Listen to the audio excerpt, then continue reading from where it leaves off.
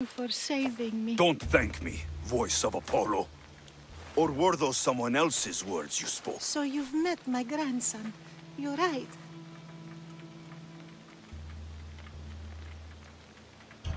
Grandmother. Did she tell you? Is she the oracle who brought ruin on your family? I'm sorry for what I've done. I accept my punishment. But please, don't let my grandson kill me. Lycaon's a good man, a healer. This would break him. No. This is my responsibility. I must be the one to end her.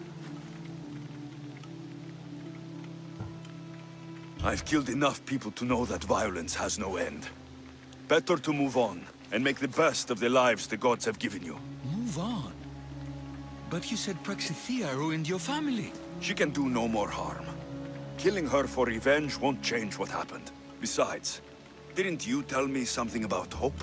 Thank you for your mercy. I promise I will do good with what's left of my days. You're right, Alexios. I might not be able to forgive my grandmother, not right away. But she can go on with her life, and I with mine. I think you've made the right decision, Lycaon. Ah, how do you do this? Decide who lives and who dies. How do you do it, Lycaon? All those lives depending on you, needing your healing and kindness. I... I think I need you, Alexios. Not to kill anybody or find anything. Just to stay with me. I can't stay forever, but for now, let me take care of you, healer.